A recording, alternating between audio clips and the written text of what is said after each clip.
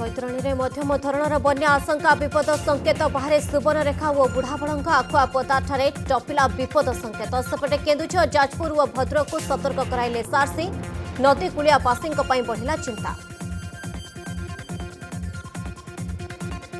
ଆଜି ମୁଖ୍ୟମନ୍ତ୍ରୀଙ୍କ ବାତ୍ୟା ସମୀକ୍ଷା ଆକାଶ ମାର୍ଗରୁ କରିବେ ସ୍ଥିତିର ଅନୁଧ୍ୟାନ ବାଲେଶ୍ୱର ଭଦ୍ରକ ଓ କେନ୍ଦ୍ରାପଡ଼ାରେ ମୁଖ୍ୟମନ୍ତ୍ରୀ କରିବେ ଏରିଏଲ୍ ସର୍ଭେ बात्यापर बना विपद प्रबल वर्षा पर पा घेर अनेक गां लोके कहले शुणुनी प्रशासन दुख बेले बाबू देखा ना एवटे बना पिस्थित ना कहले ज्योतिर्मय रथ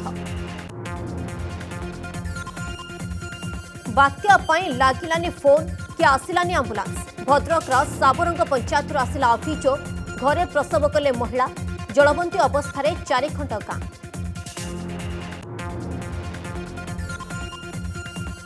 ପ୍ରଶାସନକୁ ଅପେକ୍ଷା କାହିଁ ଆମେ ଲଢ଼ିବା ଆମେ ଜିତିବା ଜନଭାଗିଦାରୀରେ ପ୍ରଭାବିତ ଜିଲ୍ଲାରେ ବାତ୍ୟା ୟସ୍ର ମୁକାବିଲା ସ୍ଥାନାନ୍ତରଣ ପ୍ରକ୍ରିୟାଠୁ ଆରମ୍ଭ କରି ରାସ୍ତା ସଫା ସହଯୋଗର ହାତ ବଢ଼ାଇଲେ ଲୋକେ